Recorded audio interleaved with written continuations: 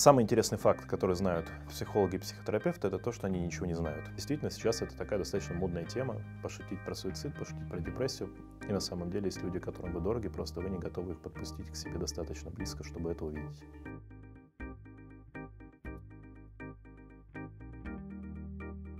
Здравствуйте, меня зовут Георгий Наслышвили, я медицинский психолог. Я занимаюсь такими темами, как панические атаки, личностные расстройства и агрессия. Я отвечаю на вопросы для Яндекс знатоков.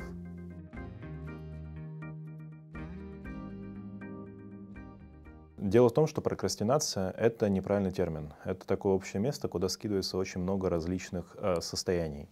Это может быть лень, это может быть просто нежелание работать, потому что работа не нравится. Это может быть просто такой маркер усталости и так далее. И говорить, что между прокрастинацией и ленью есть что-то общее, не совсем корректно.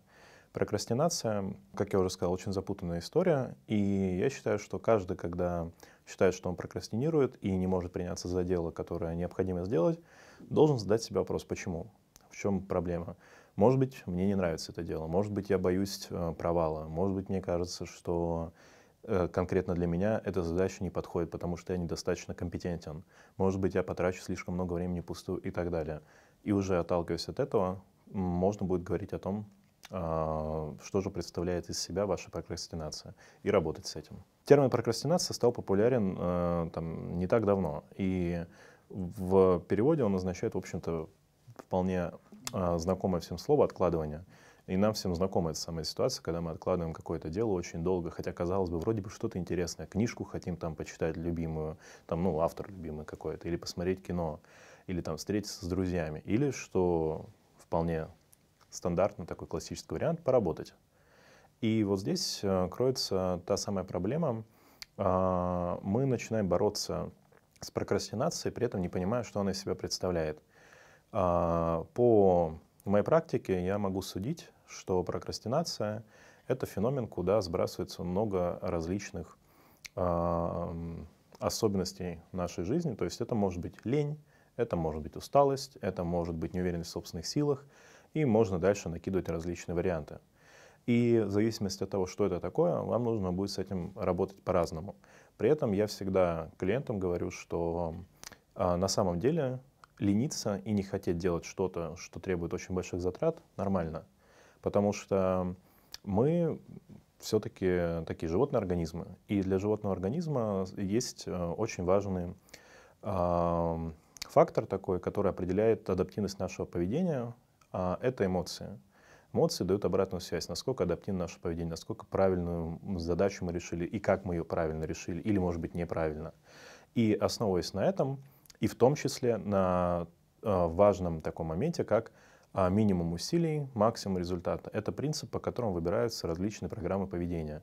Согласитесь, получить удовольствие от 500-страничной э, книж, книжки гораздо сложнее, чем получить удовольствие от, э, не знаю, просмотра видео на YouTube. Получите тот же результат, удовольствие вроде как, но при этом вложите гораздо больше усилий. Вот, собственно, здесь кроется история про лень, прокрастинацию и так далее.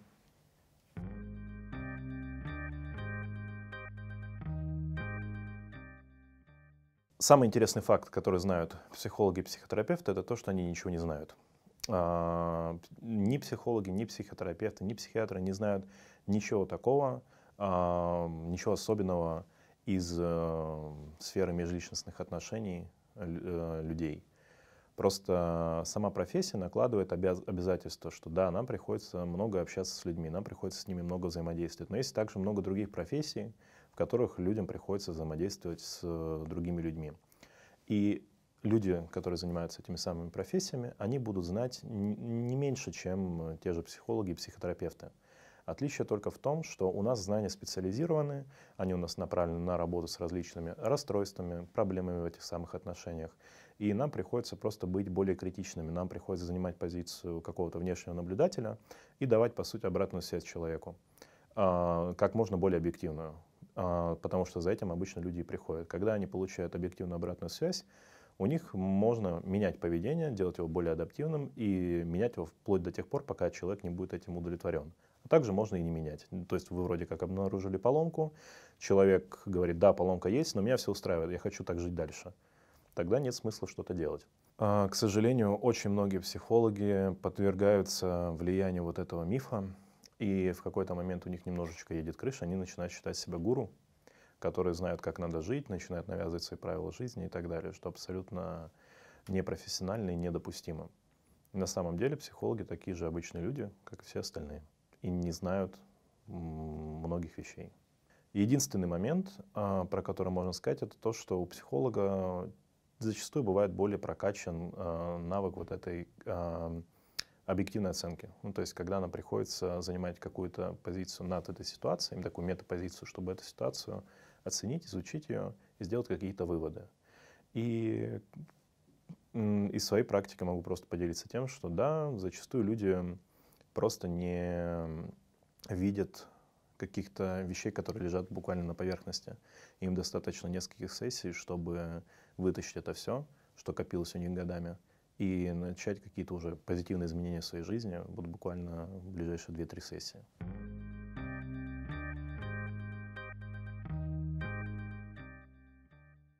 А, мне часто приходится работать с подобным запросом.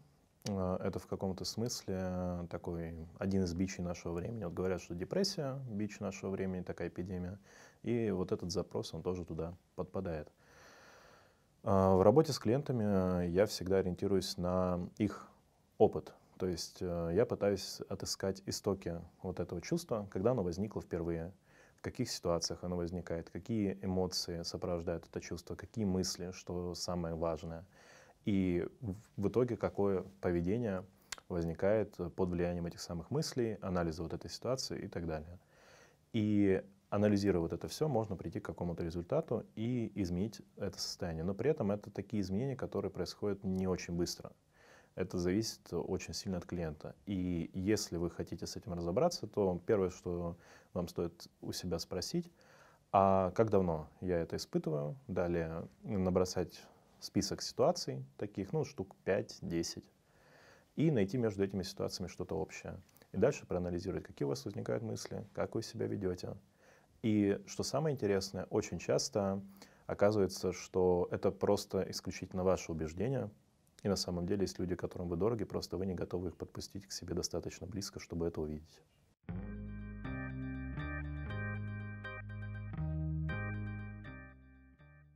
Этот вопрос напрямую касается предикции поведения. А, и к психологам очень часто с этим обращаются, хотят, чтобы психолог рассказал, как себя определенный человек будет вести в определенной ситуации. И это не совсем правильный подход, потому что психолог по-хорошему ну, не может знать, как себя человек поведет в определенной ситуации. А, то есть, если вам кто-то обещает, что точно вам расскажет, как кто себя будет вести, вполне вероятно, что этот человек шарлатан. Но, тем не менее, есть интересные исследования, которые показывают, что а, люди, которые увлекаются а, шутками, мемами про депрессию, про суицид, а у них действительно повышен а, риск а, суицидальности, то есть суицидальность действительно повышена, и они действительно могут впасть в депрессию, и им будет необходима помощь. А, эти исследования проводились, насколько я помню, в Америке, и даже вот Facebook делал на основе таких идей а, нейросеть, которая предсказывает, что вот этот человек в этом городе, владелец этого профиля, вполне вероятно совершит суицид, и к нему приезжала бригада, чтобы этого человека вовремя спасти. То есть по каким-то факторам, при этом пока не до конца понятно каким, можно определять, что действительно человек может совершить суицид.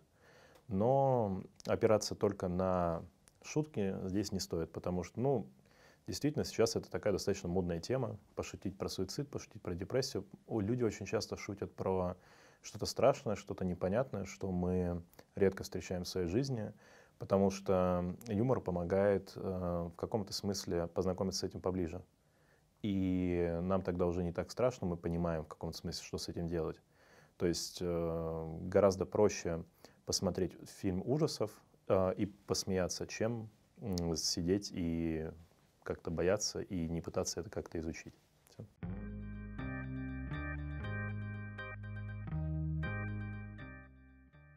Это очень сложный вопрос, э, и на самом деле до конца пока не совсем это понятно. И, и психология, к сожалению, такая сфера, где сейчас проводится очень много исследований.